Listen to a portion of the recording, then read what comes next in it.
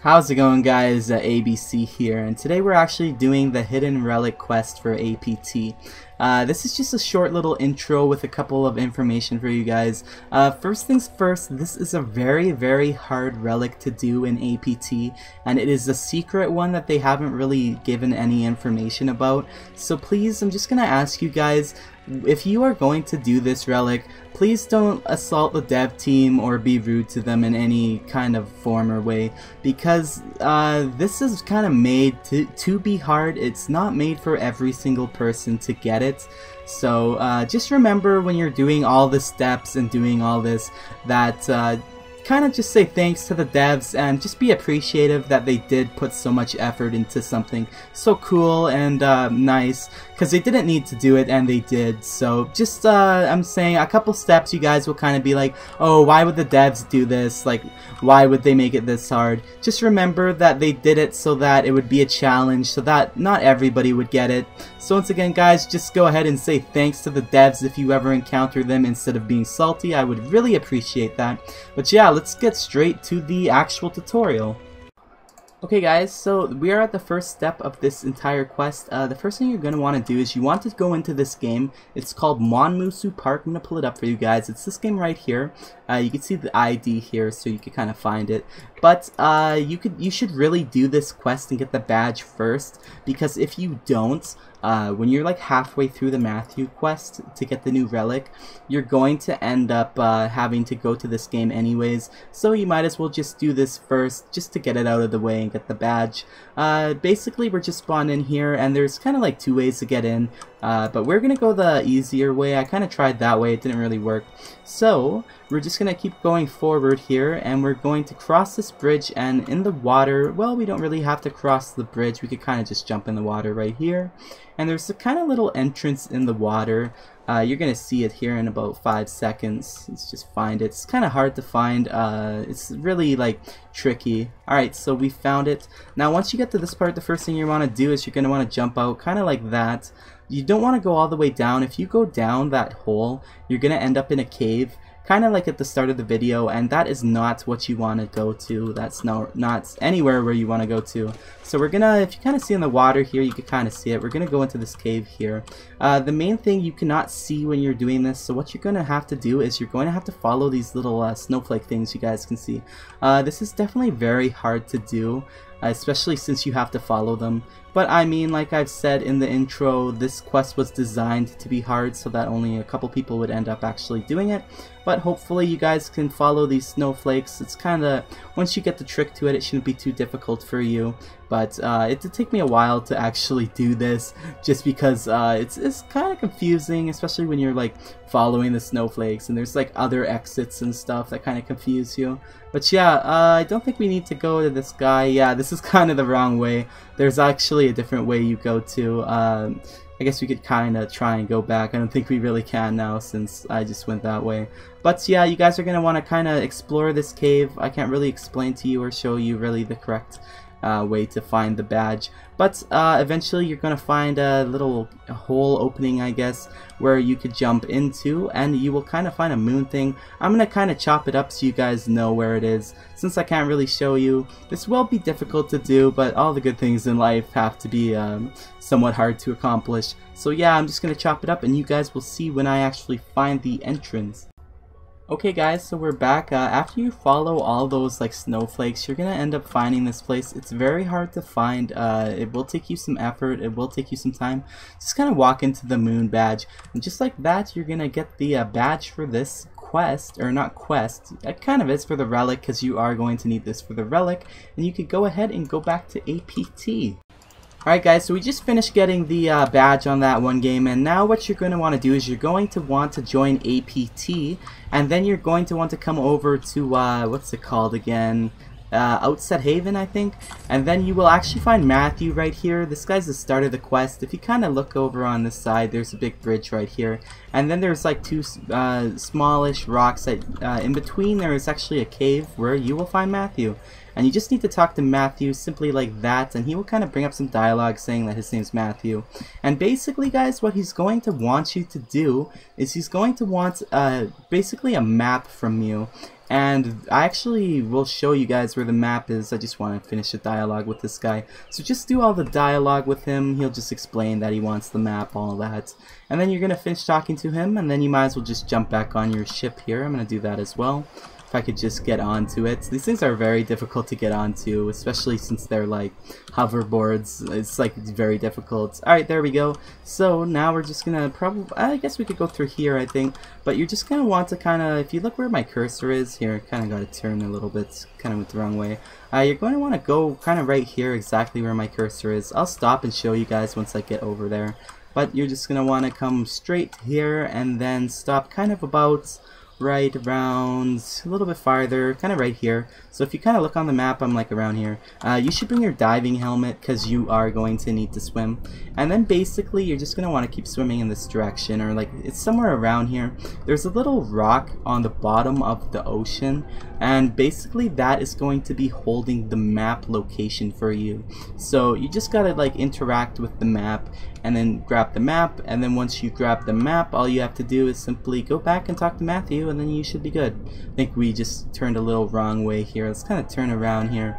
It's kind of like around this-ish area. It will be a little hard to find for you guys just because it is pretty small and it does require a lot of swimming to actually find it. Alright, we found it.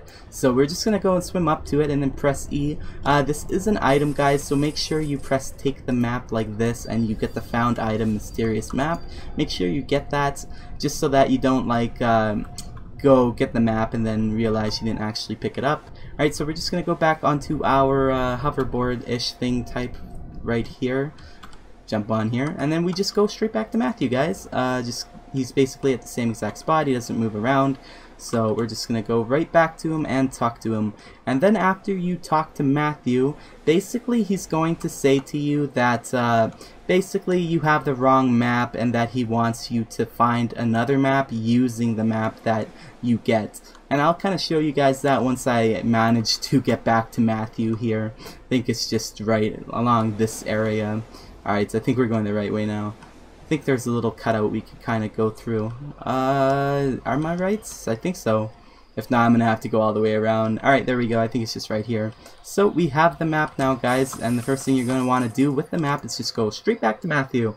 And basically, you're going to hand him the map. And he's just going to say, this is not the map we're looking for. Just going to go ahead and continue talking to him. Just get the dialogue through.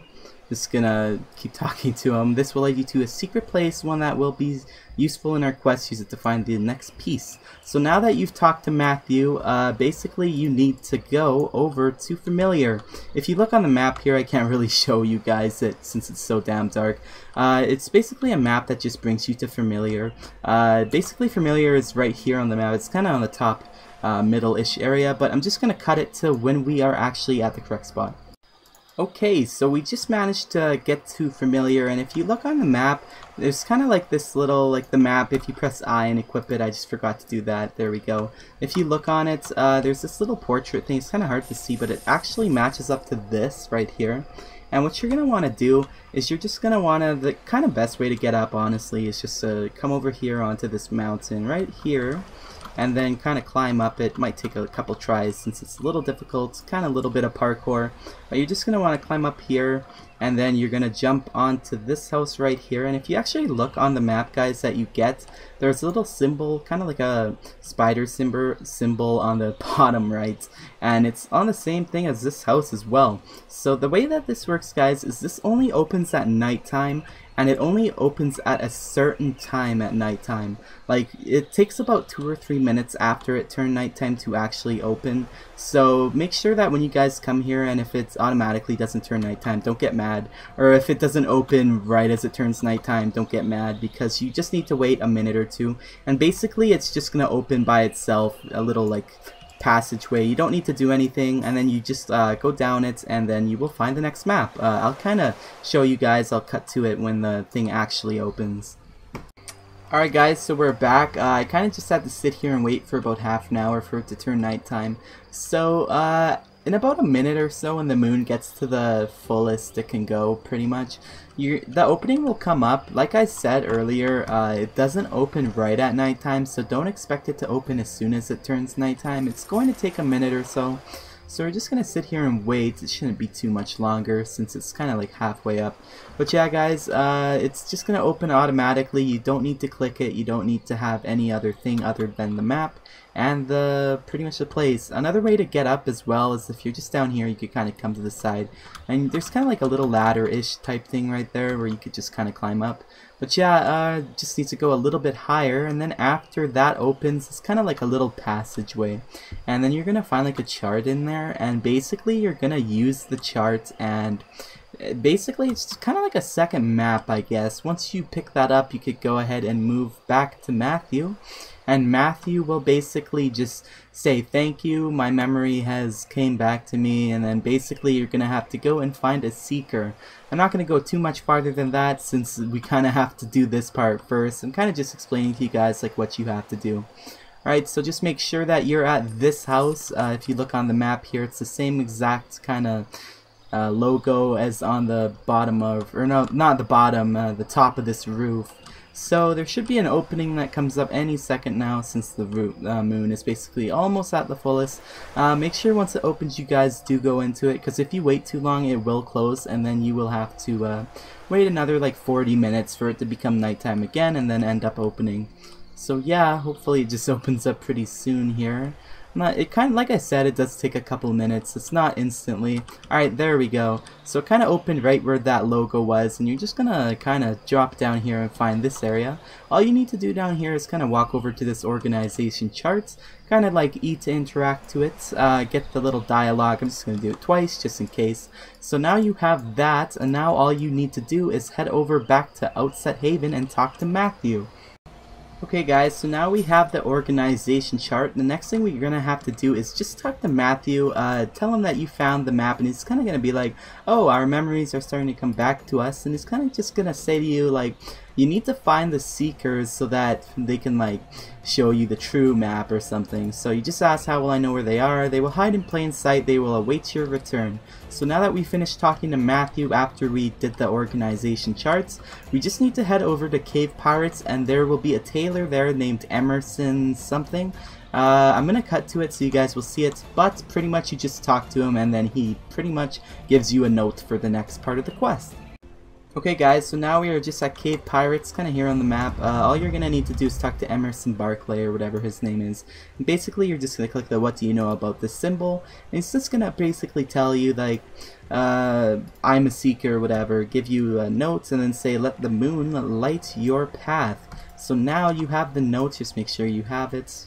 And then basically the next step I believe is what you need to do is you need to go onto the game to get that badge. You should have already done that by now if you followed my step, but I'm just going to explain to you guys really quickly how you're supposed to find that out because I know some people will be like, oh, how am I supposed to know it's on a completely different game?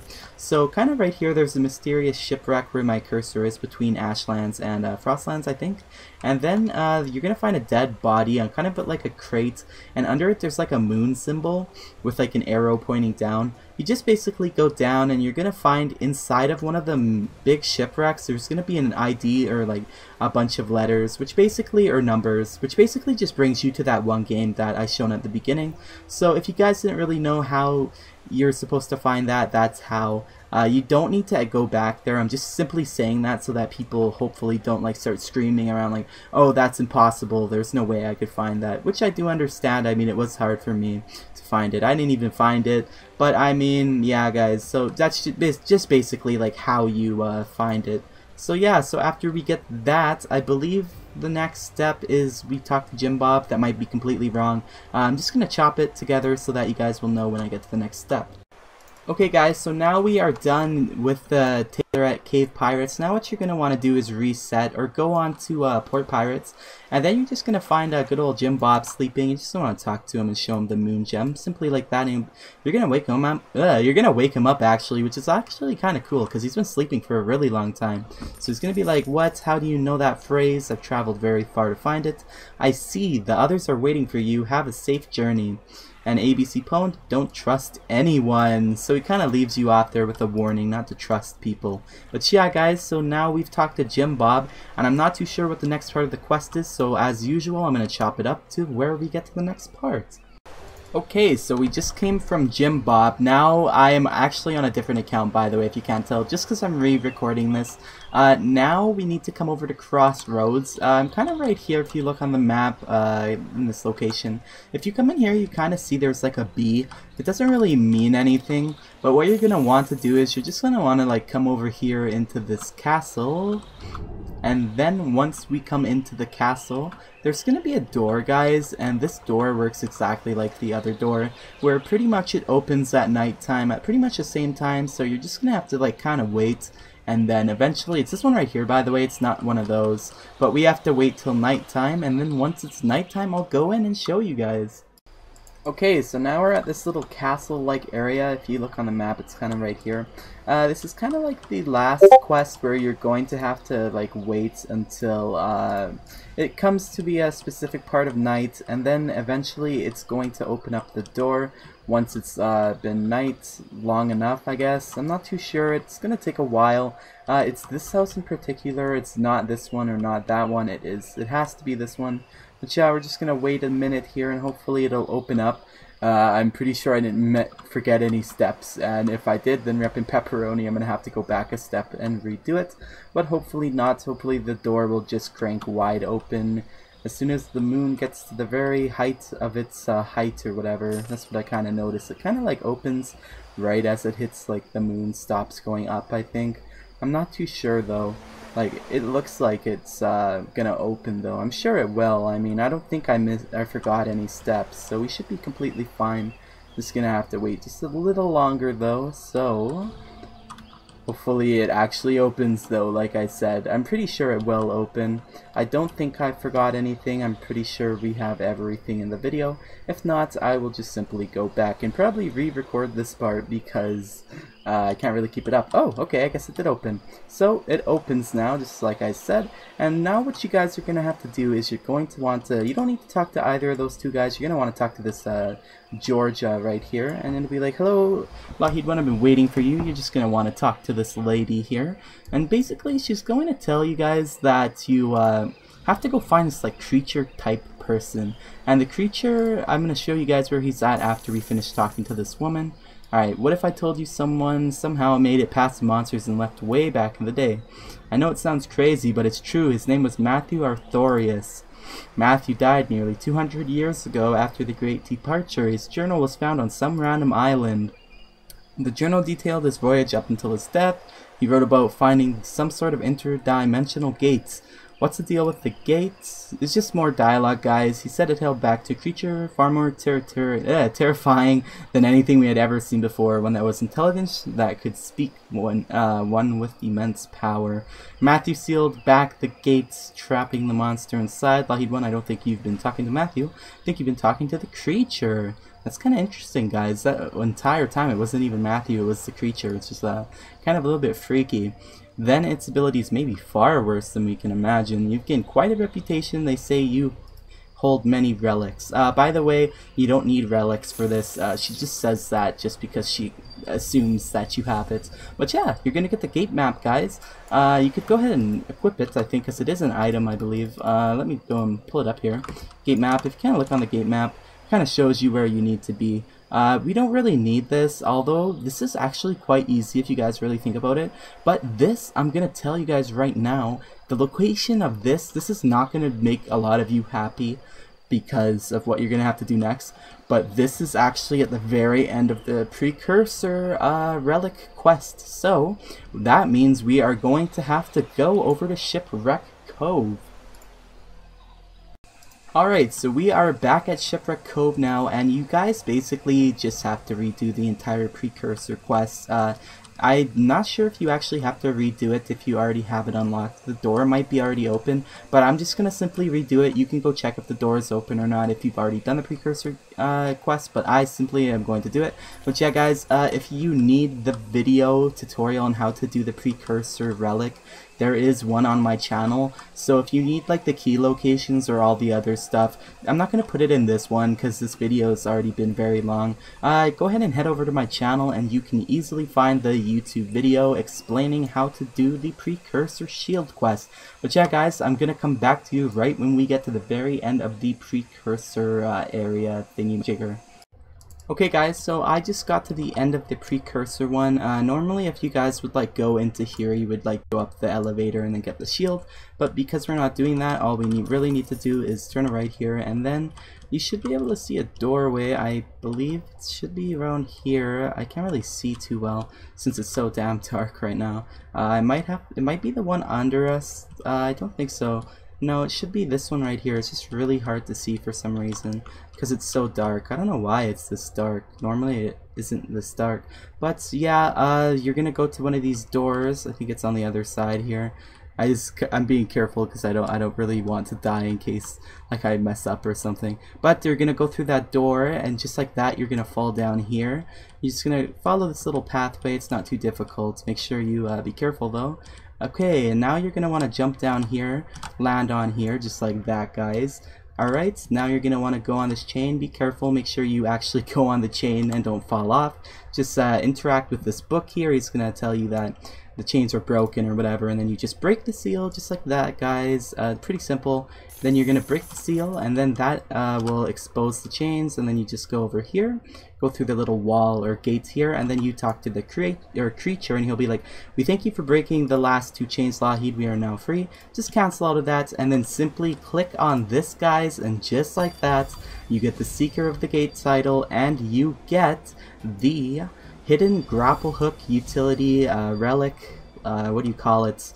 relic legend, I guess you could say, I don't know. But yeah, guys, uh, I was the first person to find the map. I, in total, I think I spent like 25 hours on this, guys, just for you. I only did it, I only went through all the hard work just so I can help most of you guys out, because this is definitely the hardest quest in the game, absolutely by far. I, I believe I was the first person in the entire game to find the map, and I was the second person in the entire game to complete the entire relic.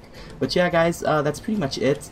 Uh, I, a couple of shoutouts I guess I can give. Um, let me shout out Maddie and Kibo for giving me all the fake information and for in the Discord for faking all of their uh, what do you call them? All of their dialogues making me waste probably about five hours of my time trying to follow them. So yeah uh, thanks to you guys for that and yeah, guys, that's pretty much it. Uh, hopefully they add some more cool quests like this in the future, and I can definitely make videos on them as well and help you guys. But until then, I'm ABC, and I will see you guys at the next video.